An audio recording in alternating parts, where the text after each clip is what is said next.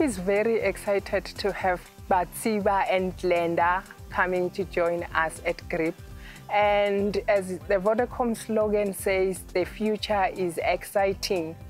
We want to believe that having the two of them contributing their skills, GRIP is going to be able to tap into spaces which were never tapped before. Glenda and I, we've been in a Vodacom Academy for five years.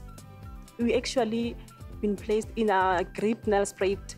We are happy that Vodacom uh, nominated us that site in Mpumalanga. Our aim is to pass our knowledge and skills to the GRIP company. We actually going to tell them uh, with how to design the website and diagnose and troubleshoot. We are actually happy that uh, we are part of the, this group of uh, the Vodacom Foundation. Thank you. A special thank you to the Vodacom Foundation for doing this on behalf of the community that we are serving.